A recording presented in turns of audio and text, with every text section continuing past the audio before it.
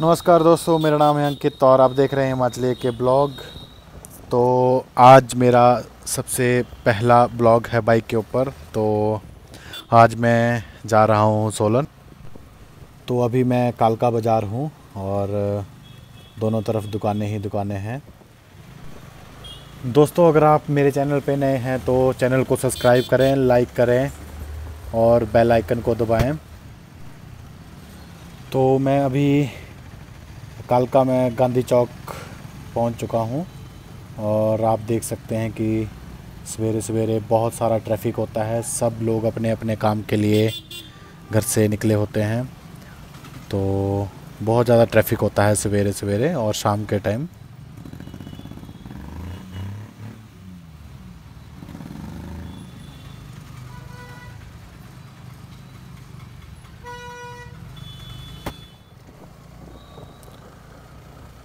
तो अभी मैं परमाणु के टोल प्लाज़ा पे पहुँच चुका हूँ और यहाँ से सोलन 50 किलोमीटर के करीब है।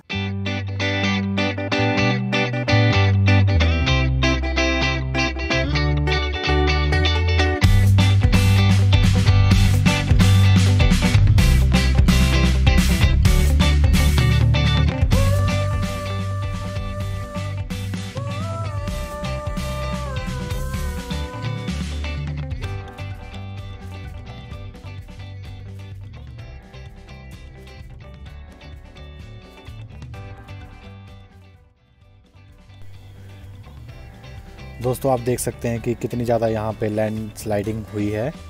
तो अगर आप जुलाई के मंथ में अगर आप यहाँ सोलन या शिमला की तरफ़ आते हैं तो थोड़ा ध्यान से आइए ध्यान से ड्राइव करें।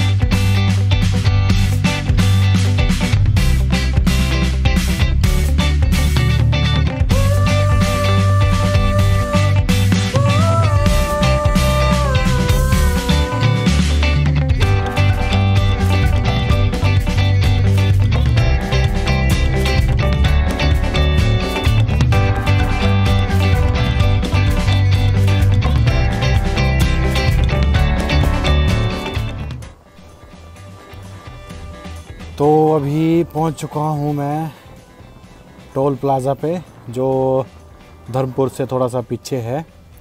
ये तो अभी कुछ अंडर कंस्ट्रक्शन है, अभी तो बन रहा है।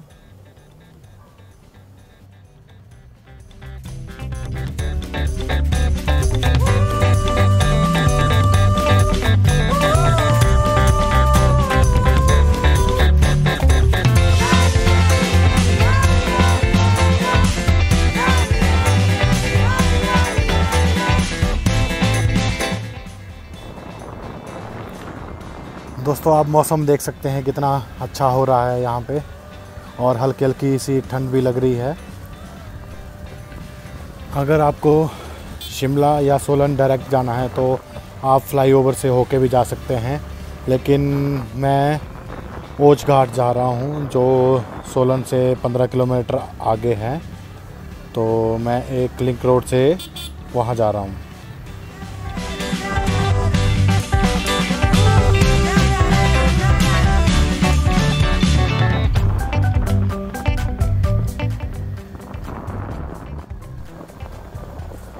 तो अभी मैं कुमार कुमारहट्टी पहुँच चुका हूँ और फ्लाईओवर के नीचे से जा रहा हूँ। मुझे यहाँ से राइट टर्न लेना है।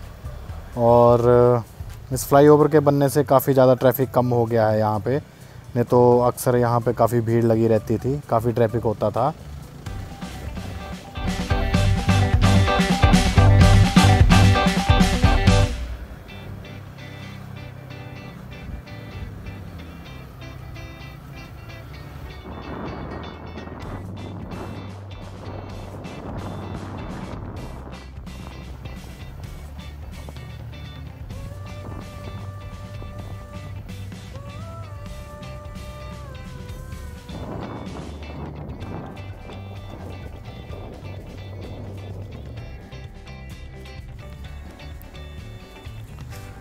तो आप सोलन में गाँव का नज़ारा आप देख सकते हैं। बहुत ही सुंदर नज़ारा है यहाँ पे और आप यहाँ पे हनुमान जी की इतनी बड़ी मूर्ति देख सकते हैं। बहुत बड़ी मूर्ति है यहाँ पे।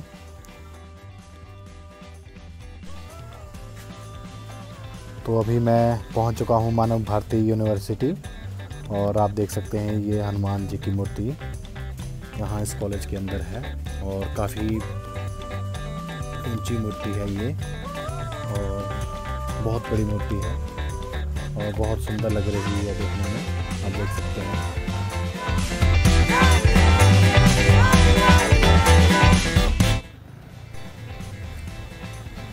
तो अभी मैं पहुँच चुका हूँ सुलिनी यूनिवर्सिटी और आप देख सकते हैं कितना बड़ा कैंपस है इस यूनिवर्सिटी का और ये यूनिवर्सिटी की बसेस वगैरह।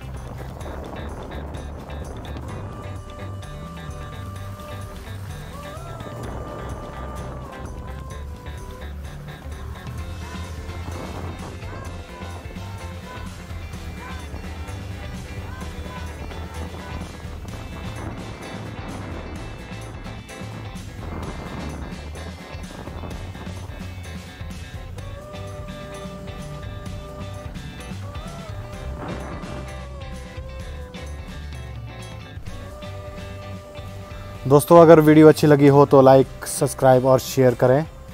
और मिलता हूँ मैं आपसे एक नई वीडियो में। तब तक के लिए